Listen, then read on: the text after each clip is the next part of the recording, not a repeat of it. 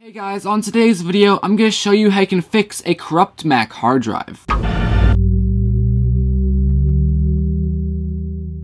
So right now my hard drive on my Mac is kinda corrupt. I haven't actually lost any files, but Mac OS won't actually let me delete anything in my trash can. So the Mac OS has told me now that my Mac hard drive is corrupt and it needs to be repaired. So I'm going to show you how to do that. So the first thing you want to do is open up Disk Utility. Disk Utility is built into all Macs. Once you open up Disk Utility, you want to locate the drive that is corrupt, which in my case is the Macintosh HD. I would first start off by just repairing your disk permissions. That should fix any minor thing that's wrong with your hard drive, but if your hard drive is actually corrupt, you're going to have to click Verify Disk, and that will actually scan your entire hard drive to see actually if your drive is corrupt. Once the verification of the disk is done, if you actually have a corruption, you're going to get something like this with the red text saying that your Macintosh HD was found with a corruption and needs to be repaired. Also, you're going to get this notification that says your computer needs to be rebooted into the Recovery HD, which we'll do right so now. we need to restart the computer, so let's shut down the computer. With the computer now turned off, we need to turn it back on and hold down the Option key while it boots up. So click the power button, and now hold down the Option key.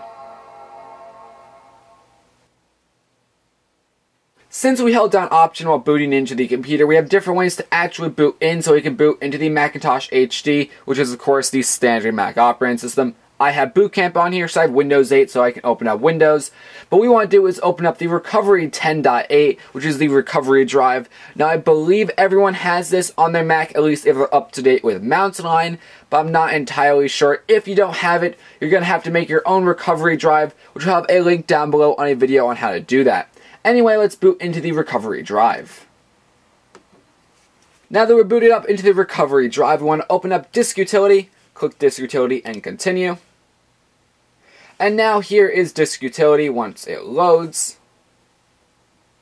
So now I want to click on the drive, which of course is the Macintosh HD, and now you see we can click Repair Disk, which is what we want to do to fix the corruption. So click Repair Disk, and now it's going to go through the repair process.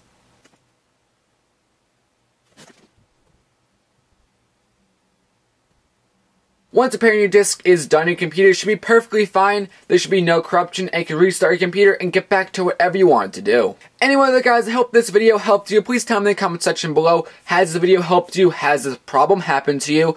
Also, do you like this kind of video? Like, do you like me doing little tips and how-to stuff? on the Mac OS. Maybe even later I could do stuff on the Windows OS. Just please tell me in the comment section below. Do you like this? Do you have any suggestions on videos I should make? Anything like that. Anyway though guys, please comment, subscribe, and like this video because that'll help me. Anyway though guys, my name is Erik, and I'm signing out.